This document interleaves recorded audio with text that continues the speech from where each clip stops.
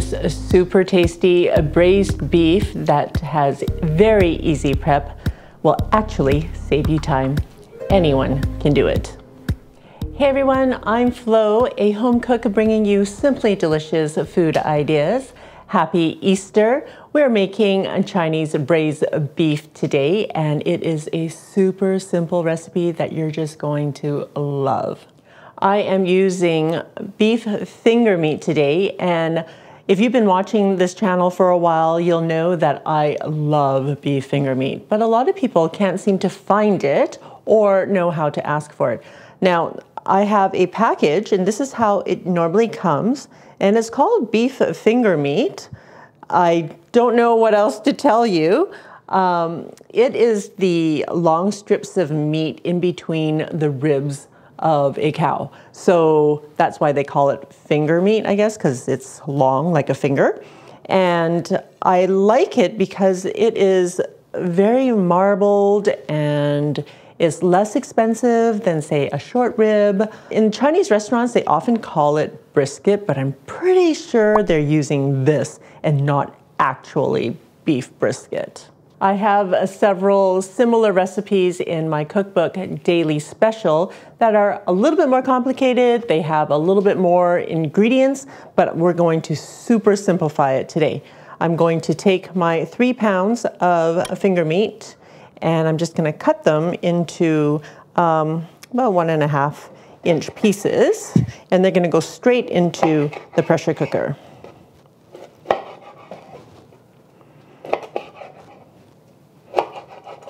I'm not going to brown them, but you totally could if you had time to do that, because that will add extra flavor. I also gave these a rinse under cold water because of the packaging it came in. Um, there was a lot of residual blood and that sort of thing that I just wanted to get rid of. You can also blanch the meat first so that it's a cleaner taste. But again, we're just trying to get a dinner on the table kind of quickly because this is it's an easy prep. Even though it'll take some time to cook it doesn't take long to put it together. All right I do trim off some of the fat so it's not super fatty. But if you can't find finger meat you can use a short ribs or um, I would normally cut up like a chuck roast.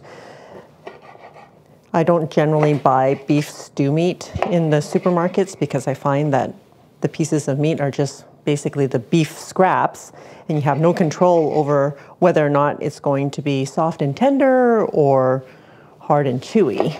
All right. It's a lot of meat, dude. Next, we're gonna make the sauce, super easy. Quarter cup of Shaoxing wine. If you don't have Shaoxing wine, you can just use regular rice wine. You don't want to use wine, we have been known to use bourbon, but I don't think I wanna put a quarter cup of bourbon in here. So maybe use two tablespoons and then two tablespoons of soy sauce in place of the wine. We're also going to use two tablespoons of dark soy sauce and two tablespoons of regular soy sauce. Dark soy sauce gives it color and light soy sauce is a little bit more salty. So that's where we get some of that flavor from. And I'm just gonna pour this over the meat.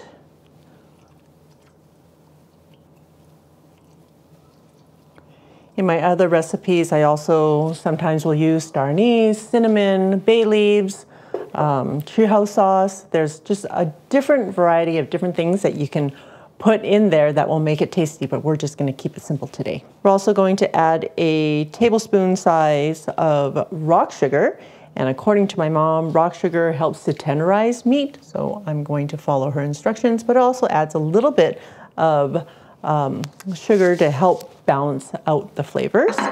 And I have a, well, I cut a thumb size piece of ginger. I'm just gonna smash it. It's for flavor, and I'm just gonna put that into the pot as well. Right, putting the lid on, locking it into place, sealing knob on sealing, and we're going to cook this on high pressure for 35 minutes.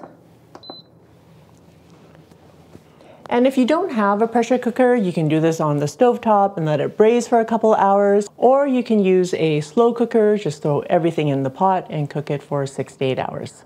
Remember how I said the recipe is super simple to put together and it will save you time? Because I went out and got a haircut and now I'm back. The pot has finished cooking. It's been sitting on keep warm for about 30 minutes and the pressure doesn't need to be released because it's already all gone. Let's see what we've got. Oh my goodness, it smells so good. And now what I'm going to do is I'm going to skim the fat and then I'm going to um, reduce the sauce and make it even tastier. There's quite a bit of fat in here. But we're not going to eat it, so we're going to scoop it out.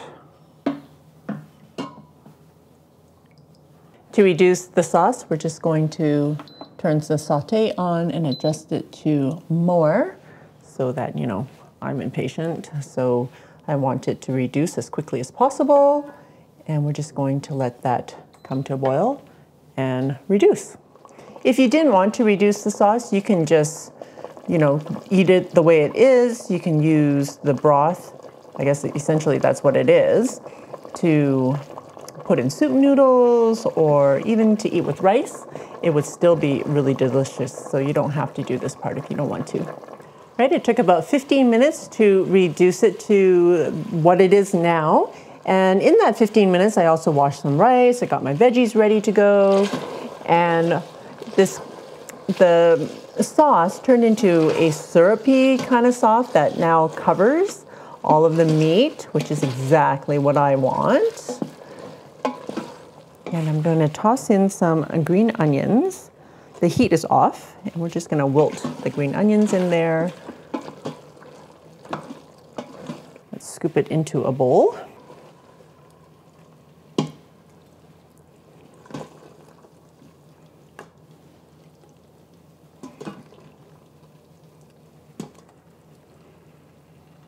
The meat is super tender, almost falling apart.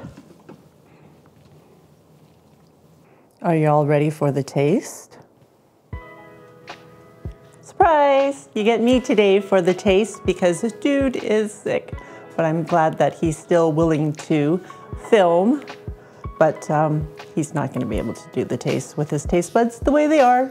So I don't know if I will do it justice, but I will try. Take a piece, maybe one with a little bit of fat. All right. Oh my goodness. It's so tender, so good, really flavorful. And you wouldn't think that with just a few ingredients, but it is delicious. I'm gonna have it with some rice and some vegetables tonight. So this will be perfect. One more bite. Mmm so good. You have to try it, guys. You'll find a similar recipes just like this one in my cookbook, Daily Special. Check it out.